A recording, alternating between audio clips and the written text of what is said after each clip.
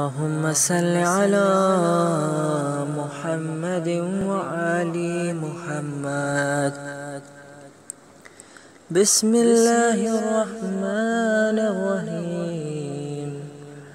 اللهم إني أشهد أن هذا كتابك المنزل. من عندك على رسولك محمد بن عبد الله صلى الله عليه وآله. وقال موقع الناتك على لسان نبيك. جعلته هاديا منك إلى خلقك. وحبلا متصلا فيما بينك وبين عبادك. اللهم إني نشرت وحدك وكتابك.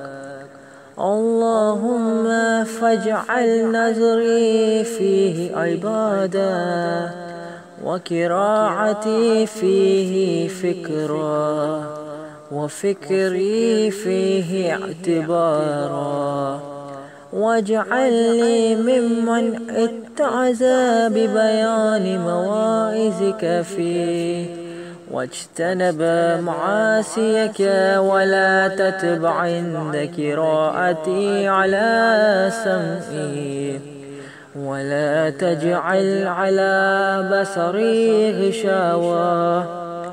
ولا تجعل قراءتي قراءة لا تدبر فيها.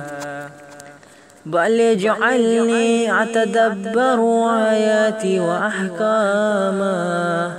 آخذا بشري دينك ولا تجعل نظري فيه غفلة ولا قراءتي هزرا.